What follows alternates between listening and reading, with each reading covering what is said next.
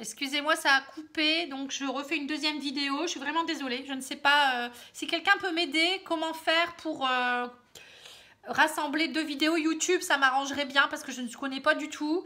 Euh, avec un iPhone, voilà. Parce que moi, j'ai pas envie de retélécharger les vidéos sur mon PC. Bon, après, si c'est nécessaire, je le referai. Mais voilà, si vous pouvez m'aider par rapport à ça parce que mon téléphone est en train de bugger. À chaque fois, il me coupe mes vidéos. Donc là, je fais la suite. Hein. J'espère que ça va pas vous décevoir trop. Mais bon, je suis désolée, je n'ai pas pu faire autrement. Donc on vous dit, il y aura quelque chose qui va se terminer. Vous êtes en fin de cycle par rapport... Enfin, on voit que lui, il a coupé quelque chose avec une femme ou un homme.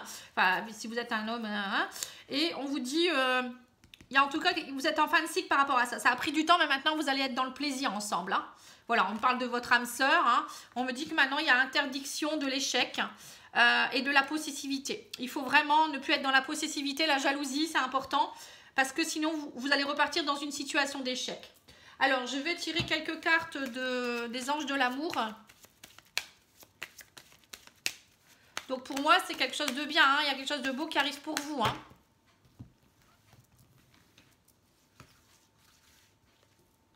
Voilà, on vous parle de apprécier l'enchantement de vos vacances ensemble. Vous allez vraiment euh, Là, vous allez revivre quelque chose de, magique. Donc, vivez l'instant présent, retrouvez-vous, euh, câlinez-vous. C'est beau, hein c'est vraiment beau.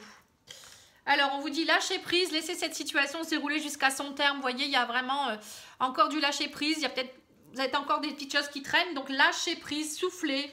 Ne soyez pas dans l'animosité. Hein. Et on vous dit gardez l'esprit ouvert. Votre âme sœur peut différer du type de personne que vous espérez rencontrer ou que vous espériez rencontrer.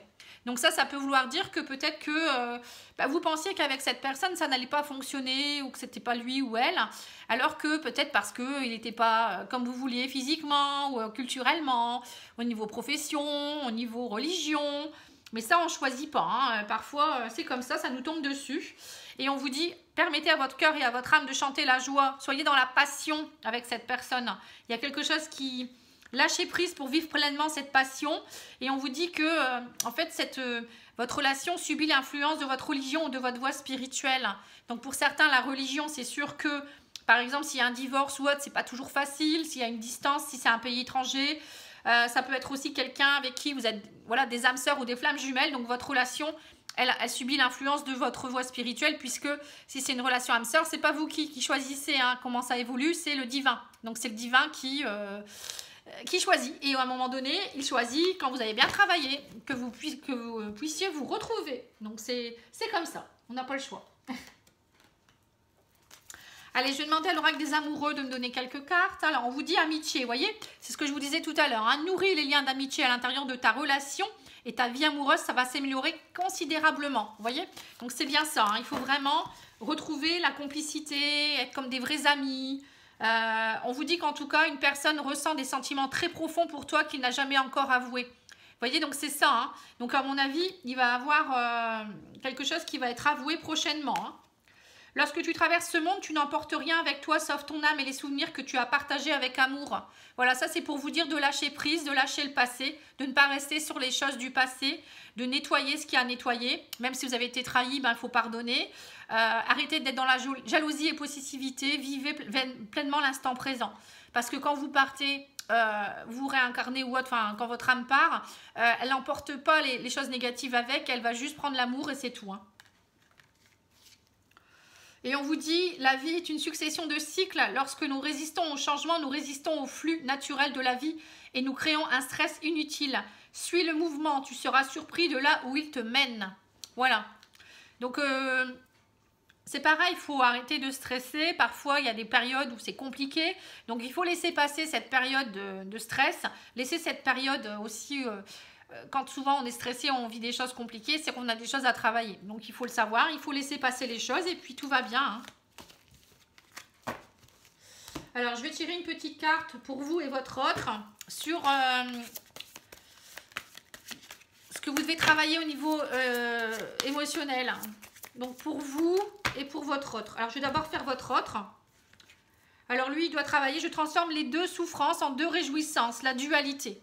Voyez, donc lui, il doit travailler sa dualité. Hein, on a tous des dualités, hein, parfois, euh, euh, voilà, on aimerait faire quelque chose et en face, on, il y, a des, il y a des dualités. Hein. On a tous des croyances erronées ou des personnes qui font qu'à un moment donné, on est de nouveau en dualité, on pense qu'on est guéri, et c'est pas ça. Et vous? Alors vous, vous devez, je passe du sexe à la relation sexuelle. Alors, euh, ça c'est un peu plus compliqué.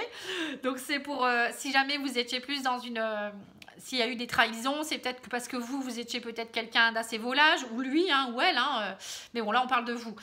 donc pour certains, vous avez peut-être trahi beaucoup votre, votre conjoint ou votre âme sœur. Et là, on vous dit maintenant, il faut vraiment essayer de vous engager de vivre pleinement votre relation et d'être dans, vraiment dans la relation sexuelle avec une belle fusion. Euh, quand on est en fusion avec son âme sœur, euh, on n'a pas besoin d'aller voir ailleurs. On, a tous les, tout est comblé, quoi, si vous voulez. Donc là, on vous dit vraiment passer du sexe à la relation sexuelle. C'est important, hein, ne, pas croire qu'une vie de couple, c'est juste du désir et voilà, voilà, on fait la chose et c'est tout. Non, la vraie relation sexuelle, c'est une fusion, c'est le partage, c'est de la communication, c'est tout ça. Voilà, bon bah écoutez, je, pense que je vais arrêter euh, sur ça. Hein, c'est une belle note. Hein, euh. Les maîtres ascensions vont peut-être vous donner une petite carte de guidance et j'arrêterai là. Je suis désolée pour la deuxième vidéo. Hein. N'oubliez pas de liker, de commenter, de me dire. Bon ben il y en a deux. Alors on vous dit persévérer et équilibrer carrière et vie familiale. Vous voyez, pour certains, il y a peut-être aussi un souci au niveau de la carrière familiale la carrière, euh, euh, carrière et la vie familiale, pardon, c'est-à-dire le travail. Peut-être que vous ne savez pas trop équilibrer tout ça et ça a entraîné des soucis aussi dans votre couple.